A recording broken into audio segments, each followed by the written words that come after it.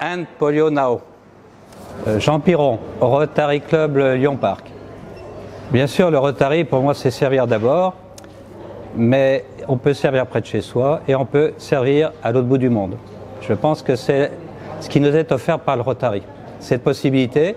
Et là, venir au Pakistan, c'était vraiment une possibilité offerte par le Rotary.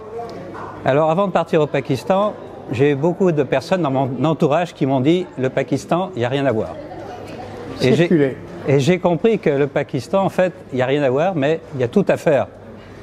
Et que, en fait, euh, cette action, on pouvait la réaliser par le biais du Rotary, et ça surtout s'associer aux Pakistanais qui actuellement mobilisent des moyens énormes, moyens humains, moyens financiers, d'ailleurs auxquels participe fortement le Rotary, pour éradiquer la polio.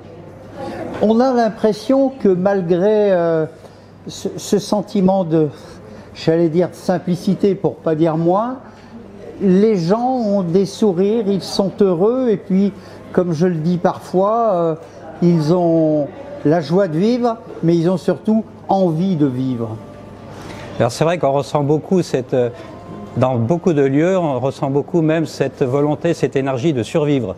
Car je pense qu'au Pakistan, nous avons beaucoup rencontré des personnes qui, dont l'essentiel, la priorité, c'est de survivre. Euh, Dans nos contrées européennes, si vous voulez, on pense beaucoup au bonheur, on pense beaucoup au plaisir, mais finalement, on oublie peut-être la survie. Et je crois de prendre conscience de cette survie, c'est déjà une très belle leçon de vie. Je pense que la polio est un problème mondial et on l'a vécu il n'y a pas tellement longtemps avec la Covid-19, le coronavirus. Et c'est qu'en fait, il faut agir mondialement contre des virus qui, s'ils font partie de la biodiversité, n'en sont pas pour autant une menace pour l'humanité. Le mot de la fin, Jean. And polio now.